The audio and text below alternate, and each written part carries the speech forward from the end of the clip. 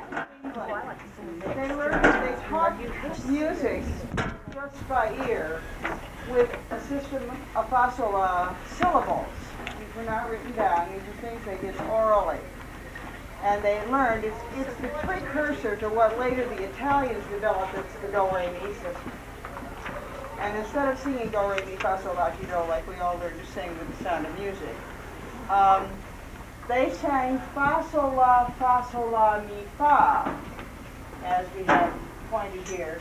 Fa, sol, la, fa, sol, la, mi, fa was their scale. Um, so the singing masters taught people to just hear where the home tone was, whatever the beginning of a piece, or it didn't matter what key it's in, all right, but the beginning note of any scale was to be the fa.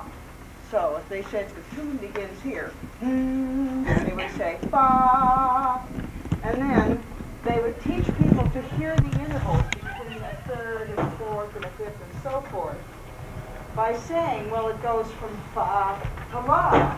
And they would know, because they would have done this six jillion times, that by now, if you were going to sing from this fa to that la, it was going to sound like this interval, okay, or whatever it was.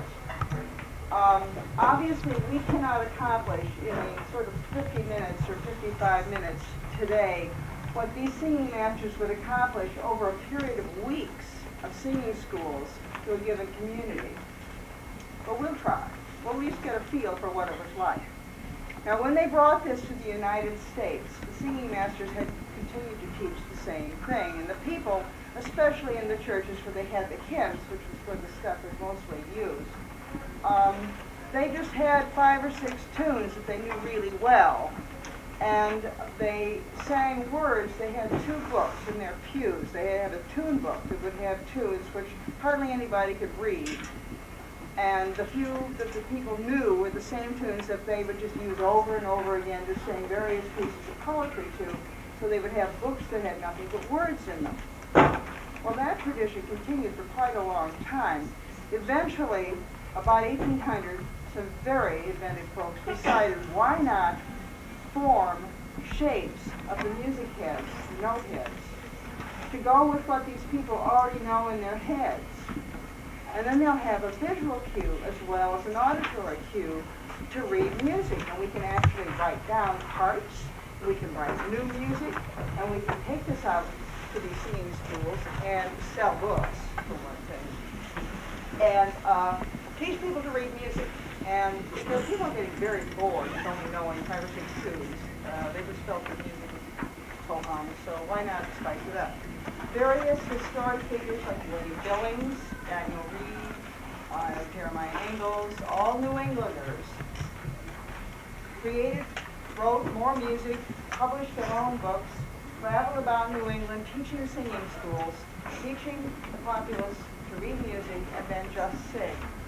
These were community events to which you brought the kids and the grandparents, and you brought the covered lunch, and you sang all day or all evening. It depended. Sometimes they were evening singing schools. Sometimes they were absolutely all day or all weekend affairs. People would come for miles and bring everybody.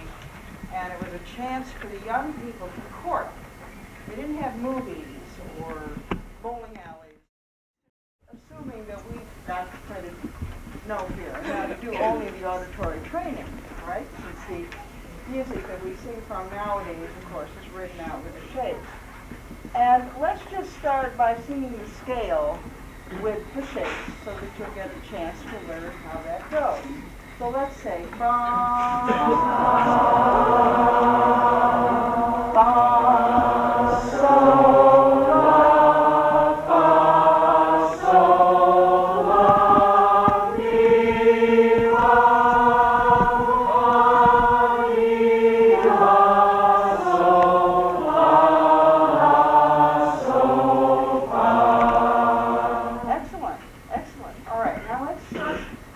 the bouncing finger.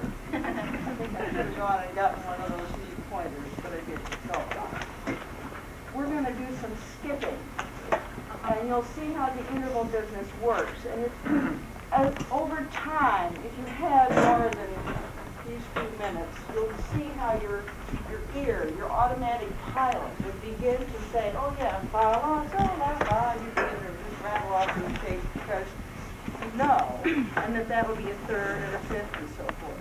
So let's try a few of those.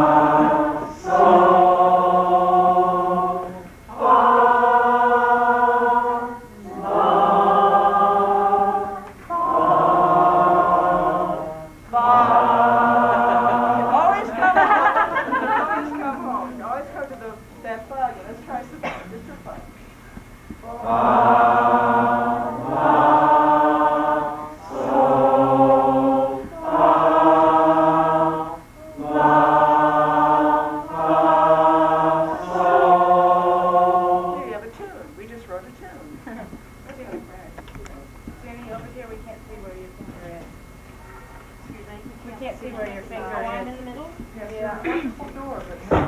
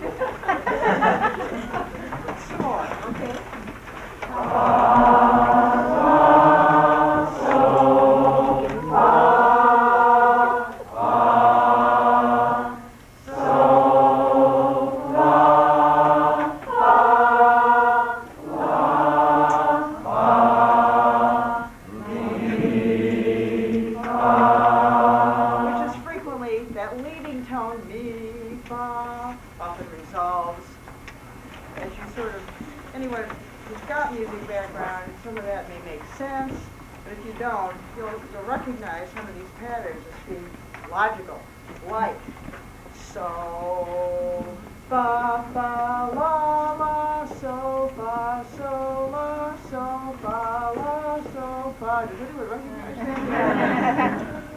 Okay. All right. Yeah, the so is, so, here's the so. We're taking the so down here, okay? So, fa, la, so, fa, so, la, so, fa, la, so, fa. In your handout, what page is it in the handout? Sixty-three in the book. Uh, Eight in the handout. Eight in the handout. I'm right under that, so you can see it on the page. This is Coronation by Oliver Holden. You all have undoubtedly sung this tune in your regular church hymnals. You may find this harmony slightly different from what you're used to hearing. The melody, now let's look, let's look at how they organize the printed word, the printed tune.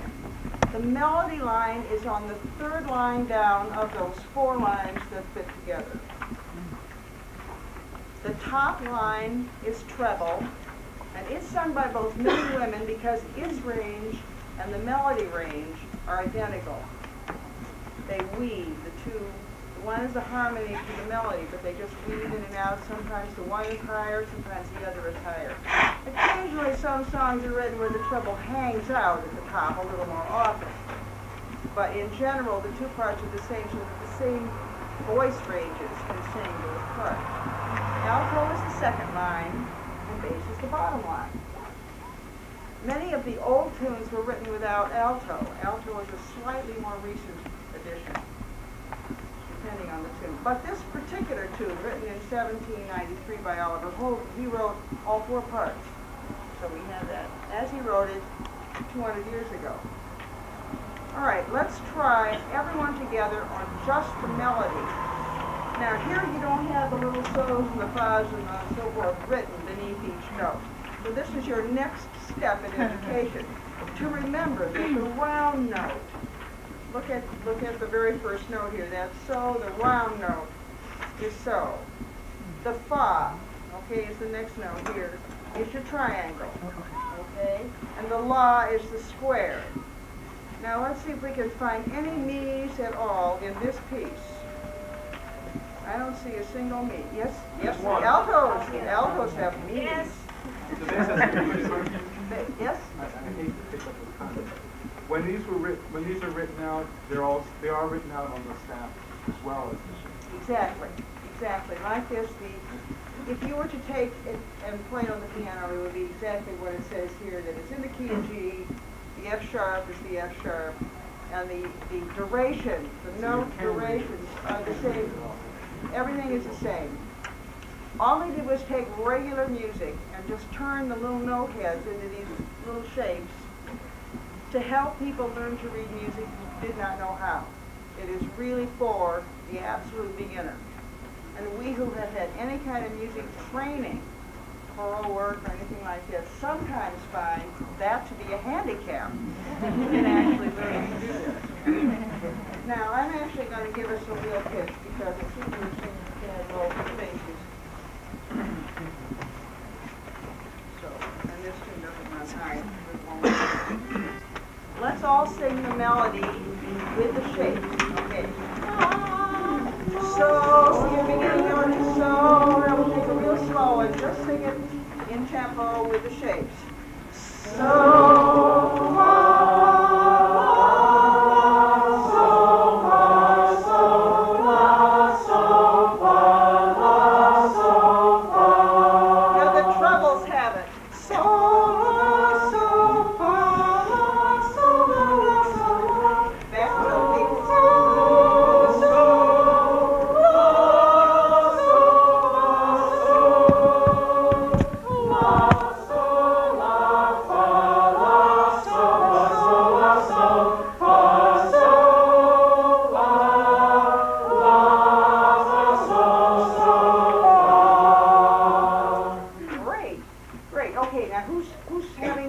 What kind of thing? What kind of help?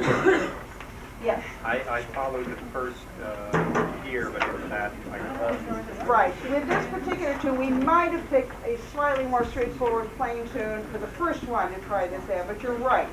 Where the the repeat dots fall down the, the page here, the melody seems to disappear. And what they melody again all the way through. So it's the top two measures here, and then it goes back to the third line down for the rest of the melody. And, and when we're done with this piece, we'll do another one that's a nice straight plain tune. This actually is a plain tune, but he did do this little strange thing with a duet here. A little variety. How are we doing on pitch? Basis, that's good over. Again, so, so.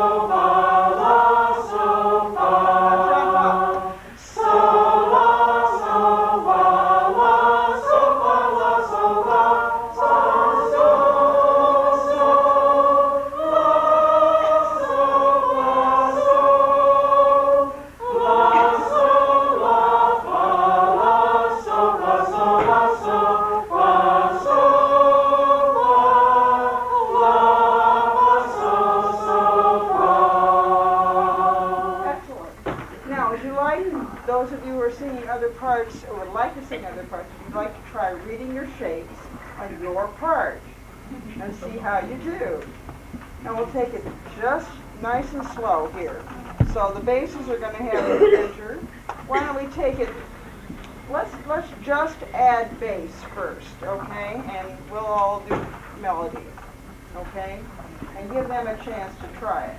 So, so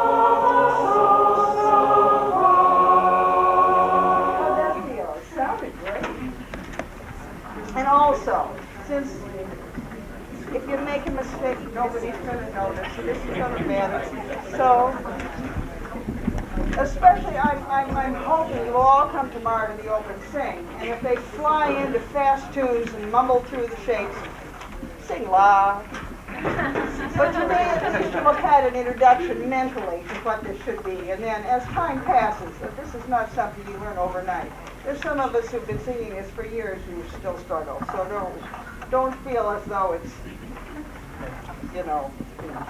All right, let's add, can we add alto and treble? Why not? All right, all right. Fa, ooh, yes. Fa, so, fa, la. All right, same tempo, let's get all the shapes. So,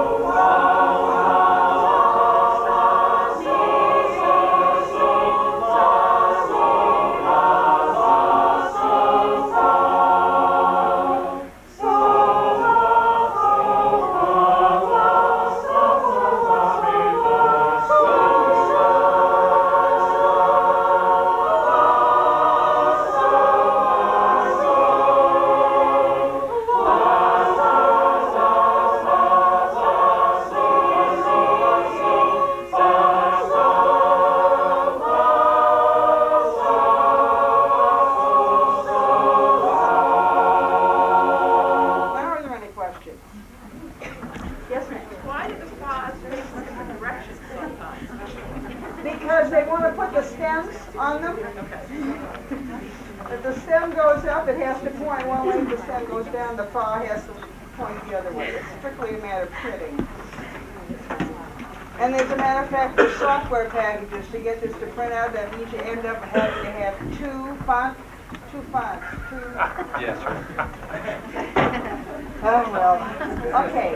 Um, why don't we move along to another tune? We, if you all want to sing all the words and everything, come tomorrow afternoon. Why, unless that's a real disappointment and you absolutely have to sing some of the words tonight. Why don't we move to another familiar tune, and this one, we're so good. Let's do Old Hundred, which is on page six. And that's because it's a familiar tune will mean that you're, you can look at the shapes. They're all nice, fat half notes, most of them.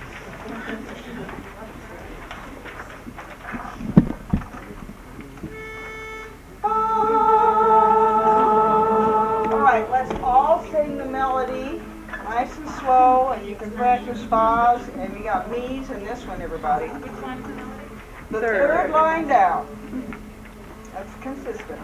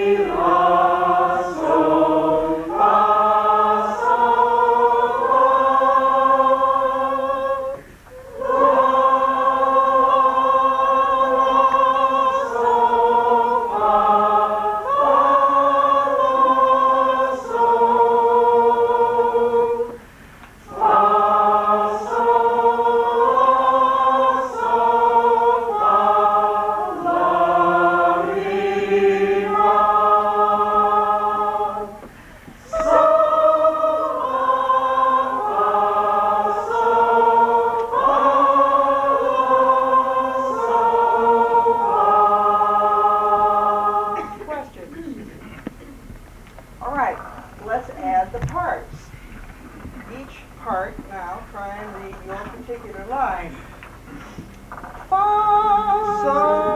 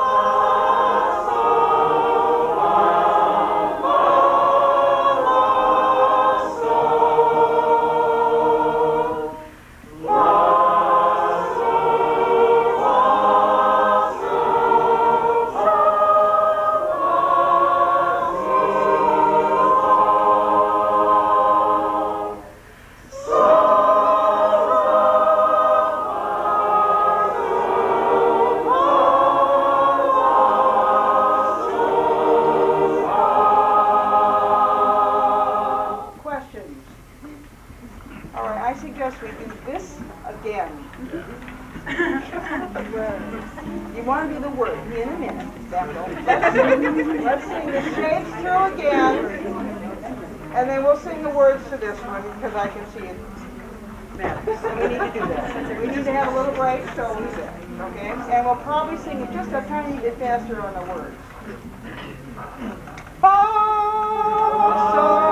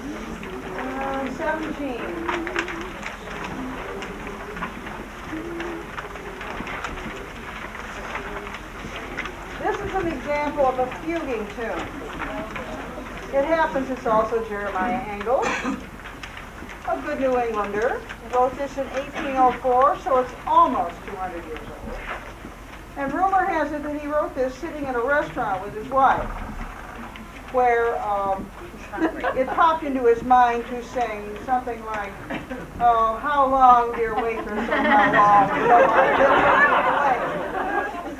And his wife said, "That's wonderful. You should write that down."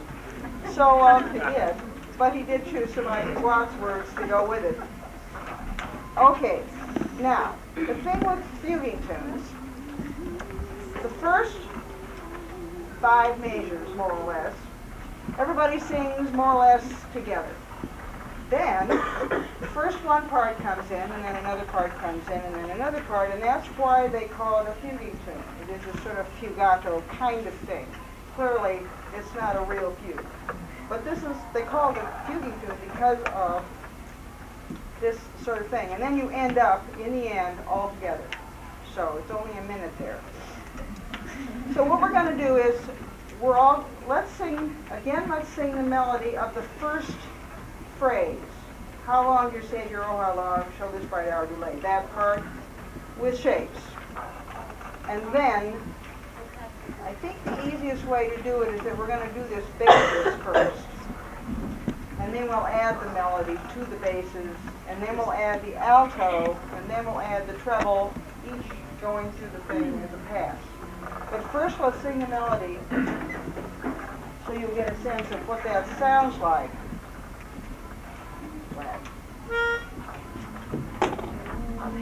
All oh,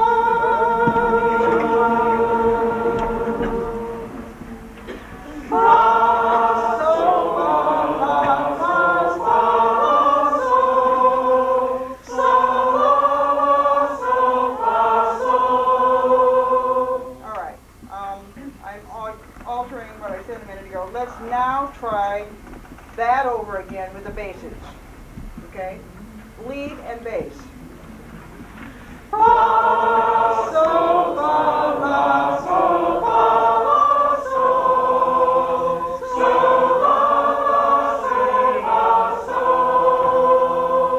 Okay, altos with lead and bass.